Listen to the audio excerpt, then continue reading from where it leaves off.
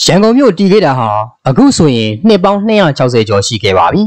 ။ရန်ကုန်လို့ဖြစ်မလာခင်ကတငါရွာလေးတရွာမျှသာနောက်ပြီးတကုံမြို့အလောင်းမင်းတရားတကုံကိုသိမ့်ပိုက်ချိန်မှာ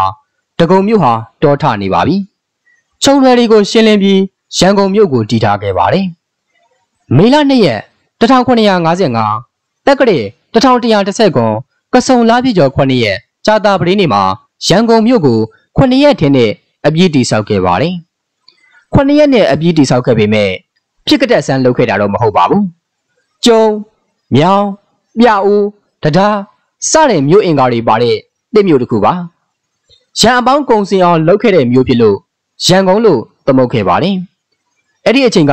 ရန်ကုန်မြို့တင်မှာရက်ွက်၈ခုရှိပြီးလူဦးရေတထောင်ခန့်နေထိုင်ခဲ့ကြပါတယ်။အလောင်းမင်းတရားရဲ့ရန်ကုန်မြို့မှာစိတ်ကမ်းတစ်ခုရှိပါတယ်။ဘရင်သင်္ဘောစိတ်နဲ့တရုတ်သင်္ဘောစိတ်လို့ ခေါ်ပါတယ်။ရန်ကုန်ကိုသင်္ဘောတွေစိုက်ကပ်ပြီးဆိုရင်ပါလာတဲ့သင်္ဘောသားအရေအတွက်ကုန်ပစ္စည်းလက်နက်စတဲ့စည်ရင်းကိုအတိအကျပေးရပါတယ်။သင်္ဘောပေါ်တက်စစ်လို့စည်ရင်းမကပ်ရင်တေချာအရေးယူမှုပြုလုပ်ပါတယ်။သင်္ဘောကချတဲ့ကုန်ပစ္စည်းအတွက်ဆေးရကိုင်နှုန်းအခွန်စည်းချက်ပါတယ်။သင်္ဘောသားတွေကလည်းလုံခြုံရေးအပြည့်အဝယူပေးထားပါတယ်။ရန်ကုန်မြို့မိဘအန်ဒီရဲ့အတွက်လည်းအထူးကြက်မှတ်ထားပါသေးတယ်။မိဖို့တတိဝင်ပြီးကြက်မွေးနဲ့တေချာစစ်ဆေးပါတယ်။